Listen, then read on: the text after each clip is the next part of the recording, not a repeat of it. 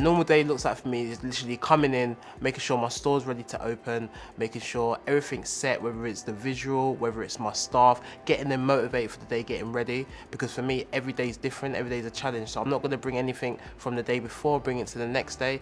Every day is a new day in Superdry. As a store manager, you have to be very savvy with the way that the shop looks, uh, the product that we have on display.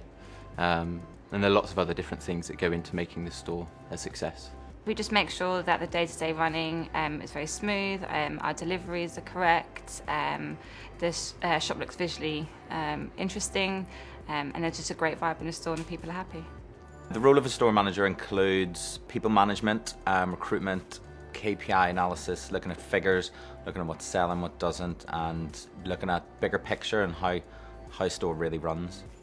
We get um, weekly reports through that we can um, we can use to analyse what's what current trends that are um, we're seeing in the store, whether it's um, you know shirts are doing particularly well for us, how we can make more money out of them, you know what is underachieving in the store, and how we can push that to make sure that we're making more money um, out of that, and um, really just managing managing the stock and giving the customer what it is that they want. To make sure that we achieve our, our sales targets and all the goals that we set ourselves in store, we have a lot of in-store incentives uh, to incentiv incentivize the staff that are there. Um, this could revolve around big sales or, or, the number of sales in a day. Um, and even just great service uh, always gets rewarded and always gets recognised in store. The opening hours in our shopping centre are very, very long, so we have to make sure that we're delivering um, the right customer service, the store's looking amazing, it's fully stocked up with every size you need on the floor, the team are delivering the KPIs, the management are putting the right people in the right areas to maximise our sales and give the customers the experience of Superdry that they expect and deserve.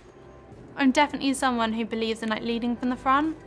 Um, so of course, like I serve customers every day. I can be with a customer for an hour, and if I've got other things that I need to do, that customer's still my number one priority.